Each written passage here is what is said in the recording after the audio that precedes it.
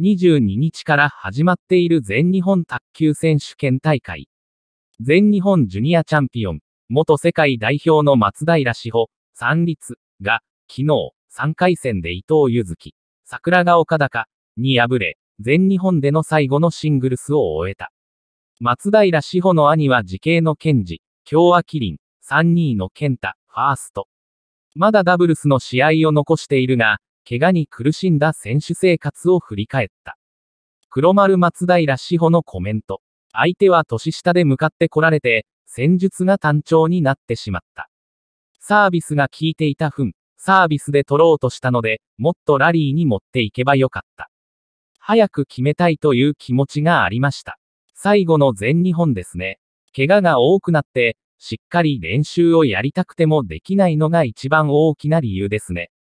一昨年も肉離れをしたり、去年もアキレス腱を痛めて、怪我をして、また振り出しに戻ることが多かった。まだダブルスがあるので、シングルスが終わったと言っても特別な感情はないですね。全日本社会人で怪我をして、1月4日から自分の練習を始めました。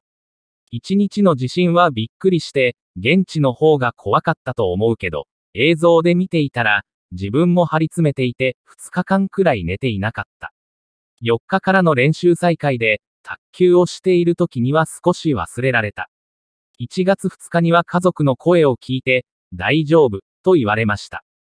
一番上のお兄ちゃんと父が家を見てくると言い出して、まだ余震も多かったので、それを私が検事に電話して、止めてもらいました。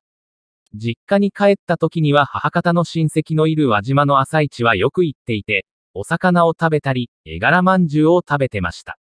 テレビを見ていると辛くなってきて、卓球をしている時が地震のことを忘れられる時でした。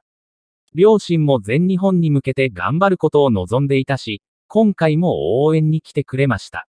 両親への思いは、4人も兄弟がいたのにみんな早くに親元を離れて、ここまで卓球をやらせてもらったことに感謝したい。